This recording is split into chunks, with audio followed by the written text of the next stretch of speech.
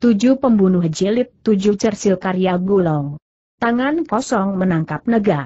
Ohlip tentu saja seorang manusia. Tapi, dia pun termasuk seorang manusia luar biasa, dalam sejarah hidupnya, dia memang sudah banyak sekali melakukan pekerjaan yang sangat luar biasa.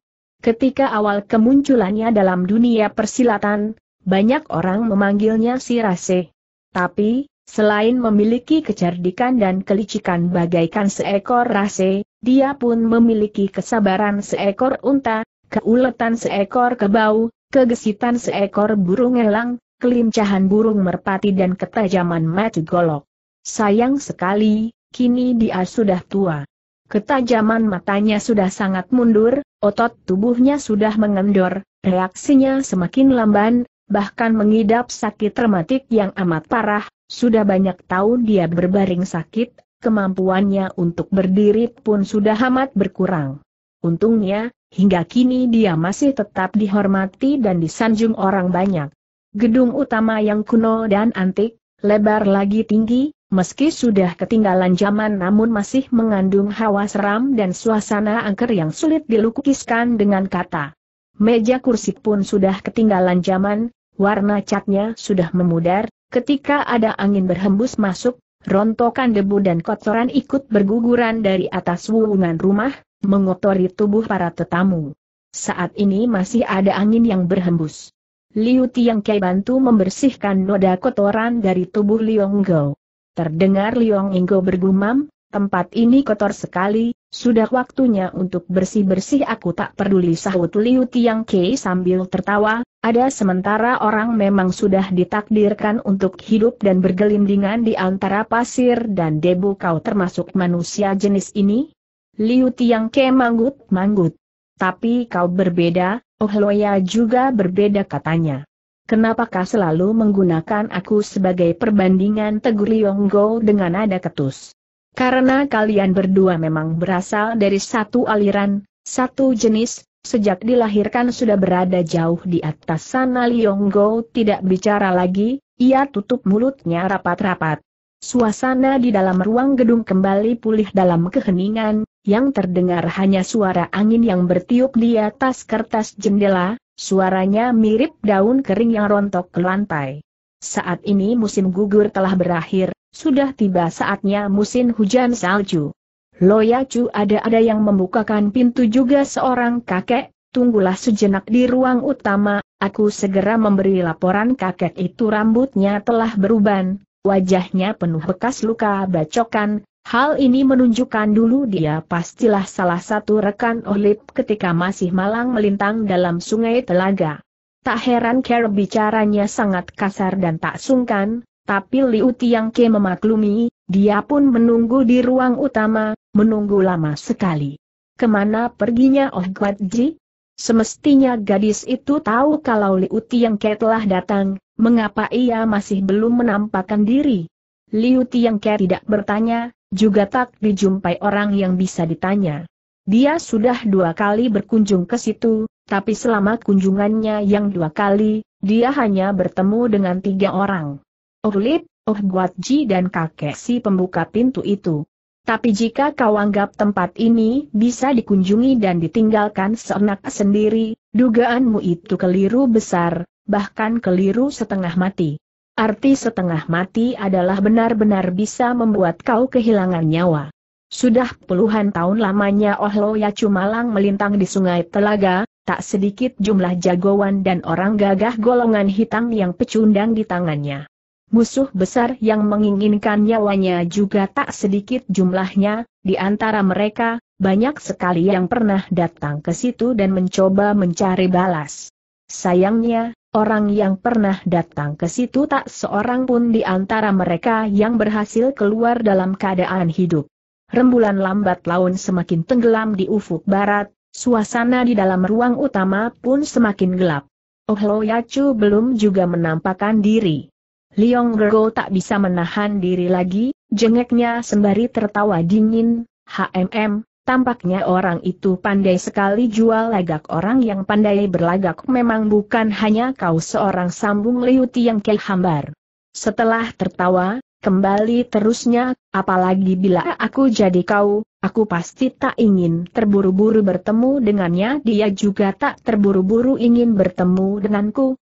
Dia memang tak perlu terhuni nafsu karena aku sudah menjadi ikan dalam perangkap tapi dalam pandangannya, kau masih tetap bagaikan seekor naga beracun. Oh ya dia adalah seorang yang teliti dan sangat berhati-hati, sebelum segalanya menjadi jelas, mustahil dia akan muncul di sini untuk bertemu dengan naga beracun macam kau. Kenapa dia harus yakin dulu apakah si naga beracun betul-betul sudah berubah jadi seekor ikan dalam jaring, selain im, dia pun harus tahu apakah ikan dalam jaring ini masih bermanfaat baginya atau tidak dia harus bertanya pada siapa-siapa yang paling memahami kau, siapa yang paling jelas tentang masalah ini Lantian Bong maksudmu Liu yang tidak menjawab, dia hanya tersenyum.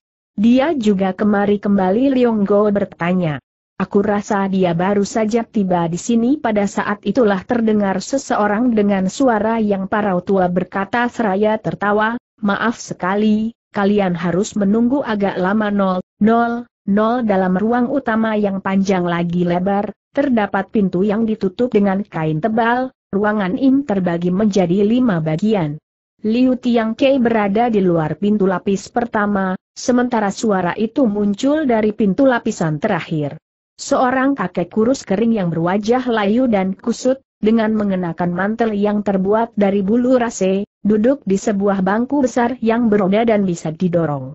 Orang yang mendorong bangku itu adalah pelayan tua yang membukakan pintu tadi didampingi Lantian Bong.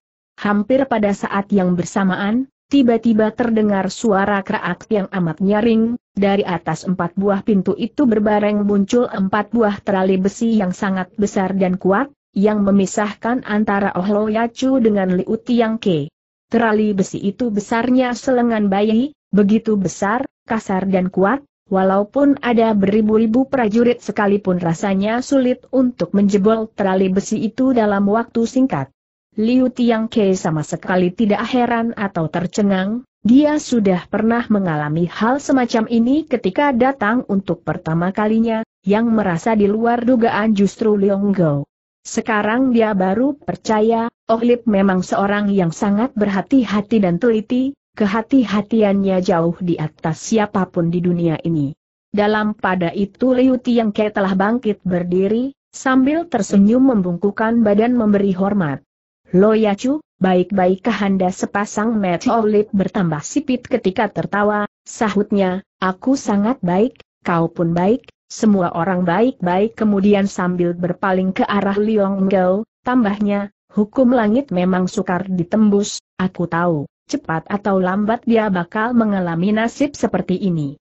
Kemudian sambil tersenyum ke arah Liu Tiang Kei, ujarnya lagi, aku pun tidak salah menilai kau, aku tahu, kau tak akan membuat aku kecewa Liu Tiang Kei tertawa, kepada Lantian Bong katanya, sudah kau laporkan semua kejadian kepada Loyacu sambil meraba bekas luka di wajahnya, Lantian Bong tertawa getir, seandainya kau turun tangan lebih berat sedikit saja, mungkin tenaga untuk bicara pun sudah tak kumiliki. Olip tertawa keras.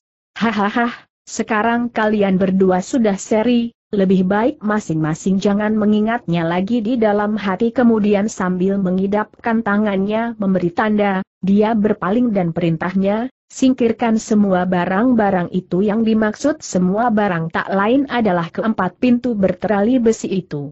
Sementara kakek bercodet itu masih sangsi, dengan kening berkerut Ohlip telah berkata Iagi, lebih baik kau ingat baik-baik, mulai saat ini Liu Ayah sudah menjadi saudara sendiri, di antara saudara tidak seharusnya dihalangi oleh benda apa pun. Tiba-tiba Liong Go tertawa dingin, Ajaknya, sepasang saudara yang sangat tepat, seekor budak anjing plus seekor setua ohlip sama sekali tak berubah muka, dia masih berkata sambil tersenyum, lebih baik kau pun ingat baik-baik, selama persaudaraan kami masih hidup, hanya manusia macam kalian yang bakal mampus satu per satu pintu terali besi telah dibuka.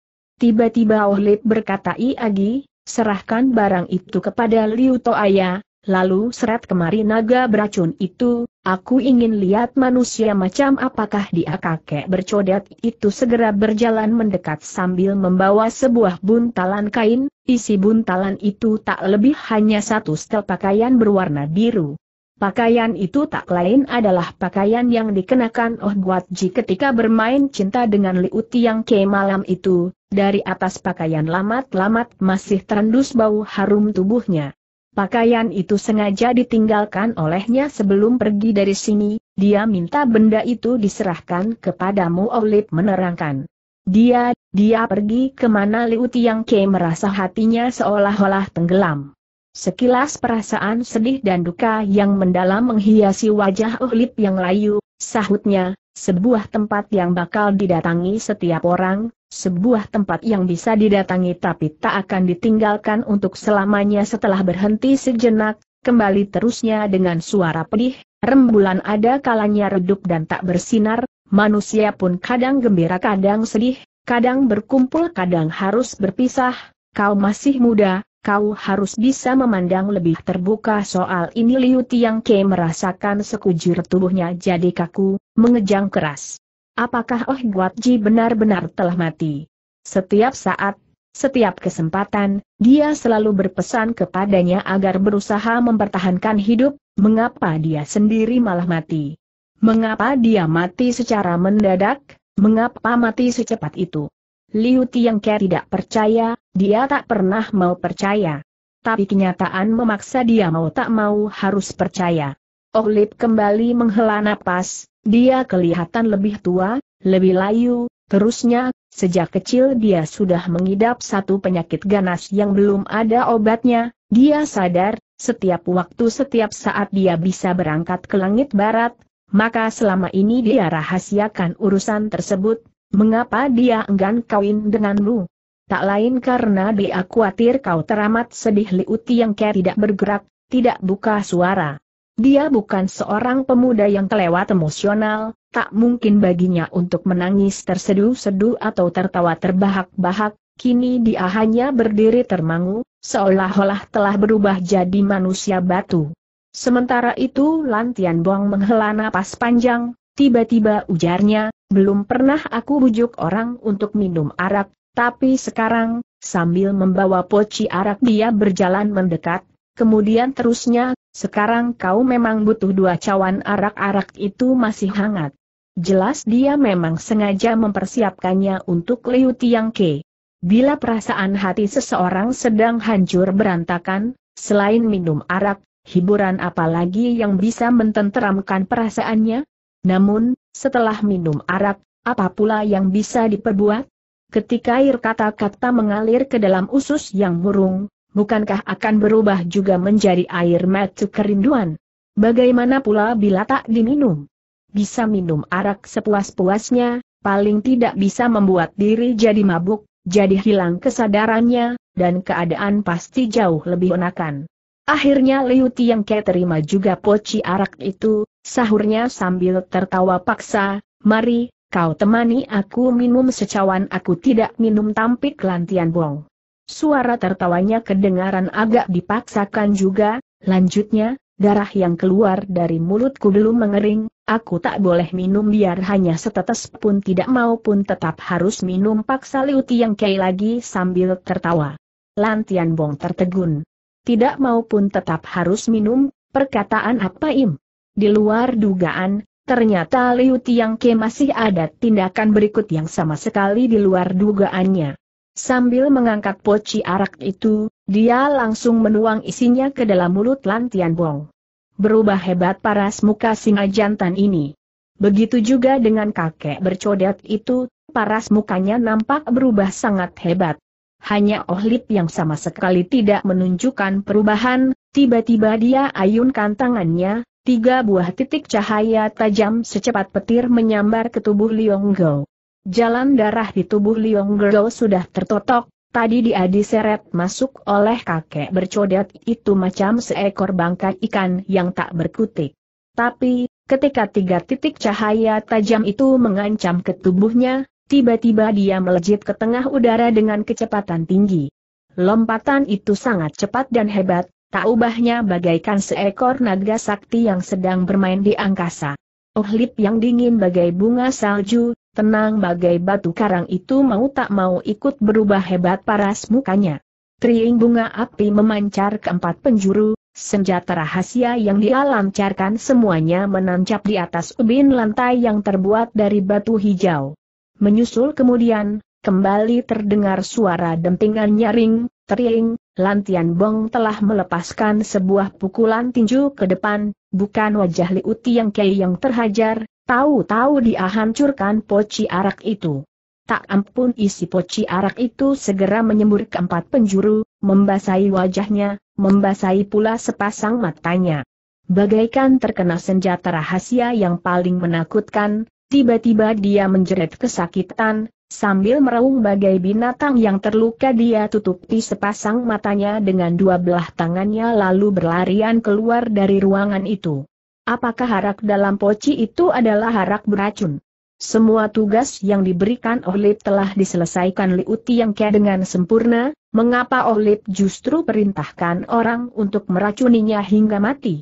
Liong Gerou yang jelas sudah ditangkap Liu Tiang Ke dan sama sekali tak mampu berkutik, Mengapa secara tiba-tiba bisa melejit ke udara, bahkan gerakan tubuhnya jauh lebih hebat dari seekor naga sakti O0 D0 W0 O tak ada angin. Awan kebu yang kelam dan gelap di luar jendela menggumpal dan sama sekali tak bergerak, sekilas pandang, bentuknya persis seperti sebuah lukisan tinta yang kusam. Raung kesakitan yang memilukan hati juga telah berhenti. Baru saja Lantian Bong menerjang keluar dari ruangan, dia sudah roboh di atas batuan, kakek yang berperawakan tinggi besar lagi tegap itu dalam waktu sekejap telah roboh tak berkutik di lantai. Memandang hingga tubuhnya roboh tak bergerak Liu Tiang Ke baru memalingkan kepalanya, sementara tubuh Liong Go baru saja melayang turun ke bawah. Oh Lip masih belum berkutik, dia masih duduk di kursi dorongnya tanpa bergerak, paras mukanya telah pulih kembali dalam ketenangan, Terdengar ia bergumam lirih, tujuh langkah, dia hanya mampu lari tujuh langkah arak beracun yang sangat lihai Liu Tiang Ke menghela napas pula. Arak beracun itu hasil racikanku sendiri Olip menerangkan. Khusus diracik untuk disuguhkan kepadaku Olip manggut-manggut, oleh karena itu kau seharusnya menyesal-menyesal arak itu lumayan rasanya bisik Olip perlahan, dari balik matanya tiba-tiba terpancar keluar perasaan sayang yang amat besar, Lantian Bong belum berhak untuk minum arak semacam itu oh ya selama ini dia memang tak pernah jadi orang baik, dia tak pantas menerima kematian semacam ini. Tapi mati tetap mati, mati pun ada banyak macamnya tukas sohlip.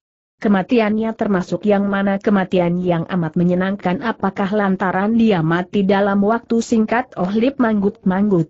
Semakin cepat maut datang menjemput, semakin berkurang penderitaan yang harus dirasakan, hanya orang baik yang pantas dan berhak menerima kematian semacam ini dia dongakan kepalanya menatap wajah Liu Tiang Kei, tiba-tiba sekulum senyuman yang aneh tersungging di ujung bibirnya, pelan-pelan dia melanjutkan, selama ini aku selalu menganggap kau adalah orang baik, Itulah sebabnya secara khusus aku racikan arak beracun itu untuk muah, kalau begitu tampaknya aku harus mengucapkan banyak terima kasih kepadamu kata Liu Tiang Kei sambil tertawa. Yaa, kau memang seharusnya berterima kasih kepadaku tapi sayang kau telah melupakan sesuatu melupakan apa agaknya kau lupa bertanya dulu kepadaku, apakah aku ingin cepat-cepat mati atau tidak ketika ingin membunuh seseorang, aku, Tak pernah bertanya dulu apakah dia pingin mati, aku hanya perhatikan patutkah dia mati sangat masuk di akal puji Liu Tiang Kei sambil menghela napas panjang. Maka dari itu, semestinya kau sudah mampus sekarang.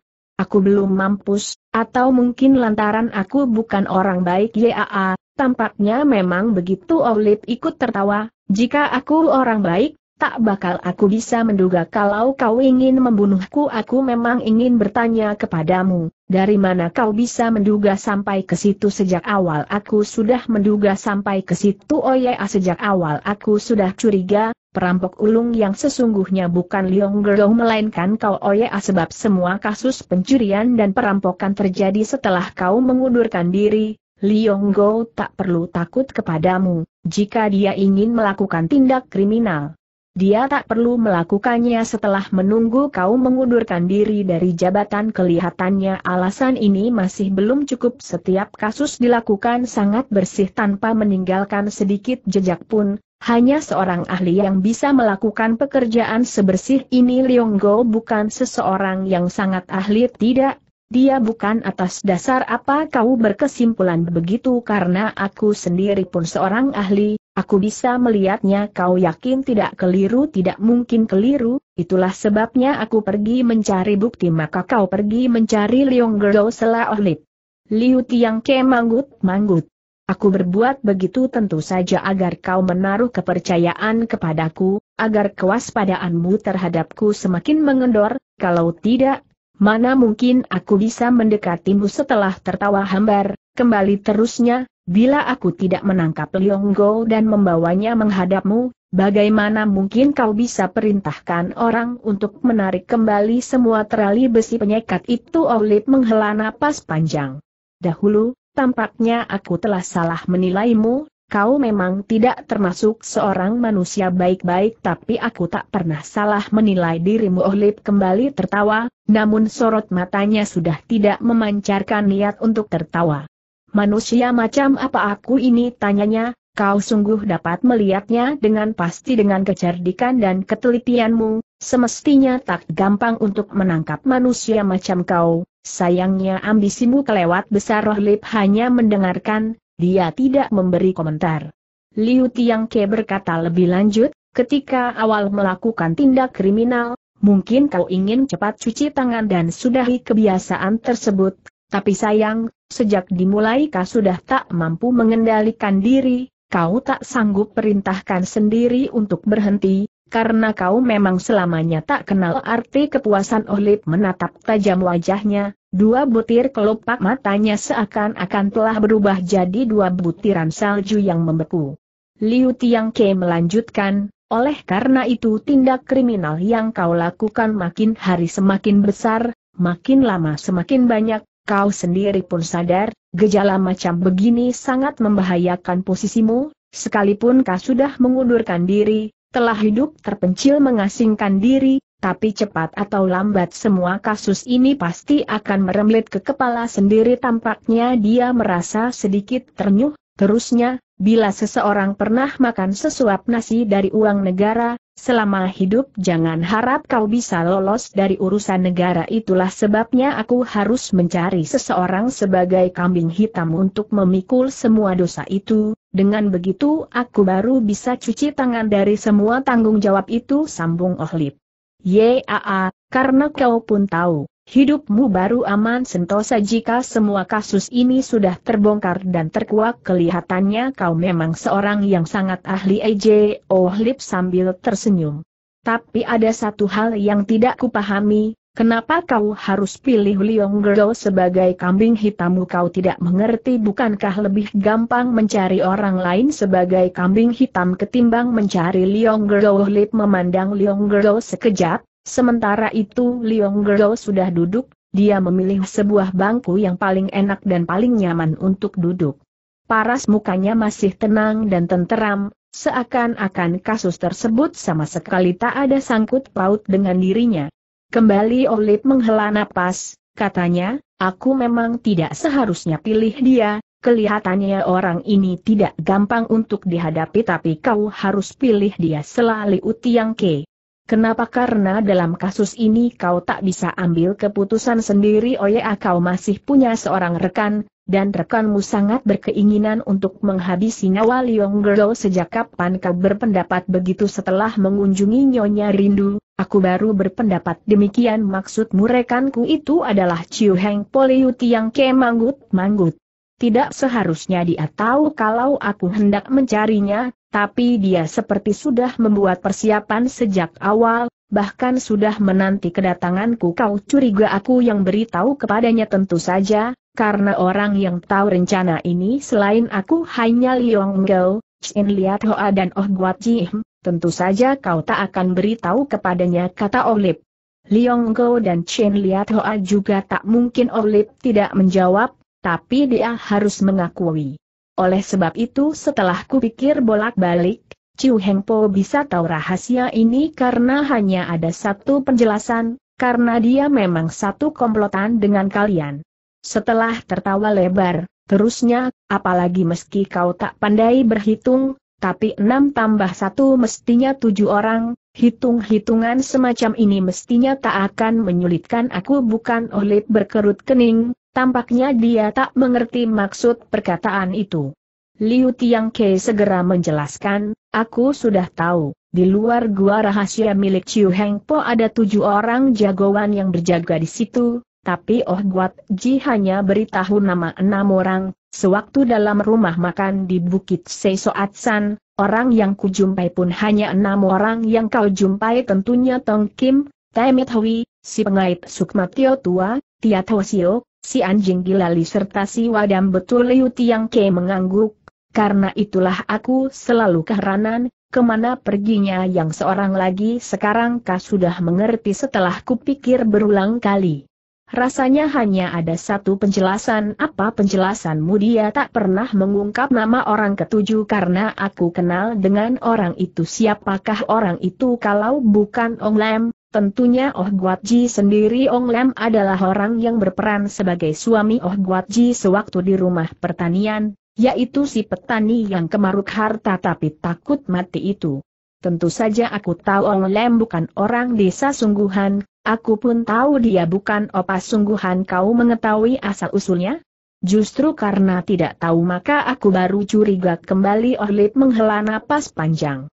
Jalan pikiranmu sungguh cermat dan teliti, jauh lebih cermat ketimbang aku pujinya. Jadi kau pun ada yang tidak dipahami banyak sekali kalau begitu tanyakan kau tidak sungguhan menguasai Liong Go Ka sendiri pernah berkata, dia bukan seorang manusia yang gampang dihadapi dia juga tidak sungguhan membunuh Chen Liat Hoa Chen Liat Hoa adalah sahabat karibnya dan satu-satunya sahabat yang paling setia kepadanya, Tak akan ada yang tega membunuh seorang sahabat macam dia berarti kalian sengaja berakting untuk memainkan sandiwara ini agar ditonton Lantian Bong sejak awal sudah kuduga, di sisi Liong Inggo pasti ada metu-metu yang sengaja kau selundupkan ke situ maka kau sengaja membiarkan Lantian. Bong pulang duluan agar melaporkan kejadian tersebut kepadaku hajaranku yang keras sebetulnya bukan untuk balas dendam, Aku sengaja berbuat begitu agar kau percaya kepadaku aku sama sekali tak menyangka, ternyata kau bekerja sama dengan Liong Gerong memainkan sandiwara tersebut seru Olip sambil tertawa getir. Masih ada yang tidak kau pahami setelah bertemu Chiu Heng Po, apakah kau belum pernah bertemu lagi dengannya? Belum lalu kapan kalian rundingkan rencana ini tiba-tiba Liu Tiang Ke tertawa tergelak. Tahukah kau, Kenapa aku bikin gusar Hong Lan Kun hingga dia pergi dengan marah tanyanya? Olip menggeleng. Karena aku sengaja menginginkan dia pergi sambil membawa kotak kosong itu Liu Tiang Ke menjelaskan. Rahasia apa di balik kotak kosong itu tidak ada rahasia apa-apa, cuma sebuah buku skenario untuk memainkan sandiwara ini. Skenario sandiwara ini sudah kuduga Hong Lan Kun pasti akan serahkan kotak kosong itu kepada Liong Gao, aku pun yakin dia pasti akan mengikuti skenarioku untuk mengimbangi aku bermain dalam sandiwara ini setelah tersenyum, kembali ujarnya, kau memang tak salah menilai dia aku pun tidak. Hanya saja ada kemungkinan orang itu jauh lebih cerdik dari apa yang kita bayangkan, bahkan jauh lebih baik membawakan perannya dalam sandiwara ini tampaknya kau sudah melupakan peran aktor lain yang tak kalah hebatnya tiba-tiba Liong Gerong menyela. Ya betul, peran Chen Liat Hoa dalam sandiwara ini pun sangat hebat sambung Liu Tiang Ke sambil tertawa. Tapi dia selalu merasa khawatir-khawatir rencanaku bakal gagal Liong Gerong mengangguk membenarkan. Tapi nyatanya peran kalian dalam sandiwara ini sangat hidup puji Liu Tiang Ke. Itu disebabkan hanya dia seorang yang khawatir kau tidak khawatir Liong Go tertawa. Temanku memang tak banyak, tapi aku jarang salah menilai seseorang sahutnya. Menurut kau, Manusia macam apa Olip ini penyakitnya yang terutama bukan berhati rakus lalu apa berhati busuk wah, tampaknya penilaianmu jauh lebih tepat ketimbang aku setelah menghela napas. Liu Tiang Ke berpaling ke arah Olip dan berkata lebih lanjut, jika kau tidak terburu-buru ingin membunuh kami, Mungkin sampai sekarang pun aku belum yakin kaulah orang yang sedang kucari sekarang sudah yakin tidak diragukan lagi kelihatannya kau kelupaan satu hal soal apa perampok itu bisa meloncat ke atas pengelari rumah, bisa berlarian di wungan rumah, bahkan bisa masuk keluar rumah keluarga kerajaan dengan leluasa, sebaliknya aku hanya seorang cacat yang lumpuh sepatuh badannya Liu Tiang. Kei segera tertawa. Kau tidak percaya kembali Ohlip berseru. Bila kau jadi aku, kau percaya. Ohlip memandangnya sekejap, lalu memandang pula Liong Go tiba-tiba ia tertawa tergelak, hahaha, yaa, jika aku jadi kalian, aku pun tak percaya ketika tertawa kali ini, sorot matanya mengandung niat untuk tertawa, tertawa yang membawa kelicikan seekor rase, kekejian seekor kalajengking beracun. Tiba-tiba dia berpaling dan bertanya kepada kakek bercodet itu, kau percaya aku percaya bukankah sepasang kakiku sudah kaku, hilang kontrol dan sama sekali cacat benar mana golokmu golok ada di sini tanpa perubahan mimik muka kakek bercodet itu mencabut keluar dua bilah golok dari sakunya, golok itu tidak panjang tapi tajamnya luar biasa. Cepat tidak golokmu. Kembali Olip bertanya sambil tersenyum. Cepat sekali bila ditusukkan ke atas kakiku kau tak akan kesakitan. Kenapa? Karena kakimu sudah lumpuh, sudah kacat benarkah itu? Akan kucoba wajahnya masih tidak menunjukkan perubahan apa pun, mendadak dia turun tangan, di antara kilatan cahaya golok. Dua bilah golok pendek itu sudah menancap di atas kaki Olip, metu golok sepanjang satu dipat tiga inci menancap dalam pahanya hingga tinggal gagangnya. Darah segar jatuh bercucuran dari mulut luka, tapi senyuman masih menghiasi wajah Ohlip, katanya, aha, ternyata memang benar, aku sama sekali tidak merasa sakit. Kakek bercodet itu menundukkan kepalanya, otot dan kerutan wajahnya nampak mengejang keras, sambil menggertak gigi katanya sepatah demi sepatah, tentu saja semuanya benar, aku memang sangat percaya. Sambil tersenyum Ohlip mendongakkan kepalanya, Sambil memandang Liu Ke dan Liong Go tegurnya, bagaimana dengan kalian? Sekarang kalian percaya bukan tak ada yang menjawab, tak ada yang bisa menjawab. Kembali angin berhembus masuk melalui daun jendela, membawa bau harum bunga yang semerbak. Tiba-tiba Liong Go menghela napas panjang, gumamnya, kemungkinan besar malam ini akan turun hujan pelan-pelan dia bangkit berdiri, membersihkan debu dari pakaiannya dan tanpa berpaling berjalan keluar dari ruangan gedung.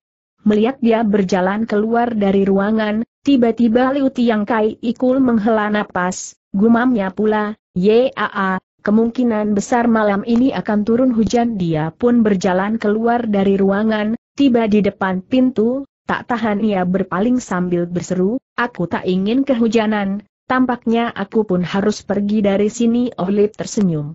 Aku pun tak ingin melihat kau kehujanan, biarpun kau bukan orang baik, rasanya kau pun tidak terlalu jahat. Tapi ada satu hal aku ingin bertanya lagi kepadamu tanyakan kau punya nama, punya kedudukan, banyak orang menghormatimu hidupmu sudah tergolong tenteram, jauh lebih nyaman dan tenteram ketimbang kebanyakan orang lainnya. Aku peroleh semuanya itu dari jerih payahku selama banyak tahun. Aku tahu setelah menghela napas, terusnya, justru karena tahu maka aku jadi tak mengerti-mengerti apa setelah berjuang dan bersusah payah banyak tahun, kau baru peroleh semuanya seperti hari ini, kini kau memiliki segalanya, kau pun sudah termasuk orang sesepuh, tapi mengapa masih harus melakukan perbuatan macam ini? Ohlip tidak langsung menjawab, dia termenung dan berpikir sampai lama sekali, kemudian baru jawabnya. Sebetulnya aku pun tidak mengerti, kenapa seseorang yang usianya makin sepuh justru dia semakin kemaruh harta? Memangnya dia ingin membawa semua uang dan harta kekayaannya ke dalam liang kubur sekarang kah sudah mengerti pelan-pelan Ohlip mengangguk. Sekarang aku baru mengerti, orang semakin tua semakin kemaruk harta karena hanya orang tua yang bisa menembusi semua masalah, hanya orang tua yang tahu, barang yang ada di dunia ini tak ada yang lebih penting daripada harta kekayaan aku masih belum mengerti Olip tertawa. Jika kau sudah hidup seusiaku, kau pasti akan paham teori ini katanya.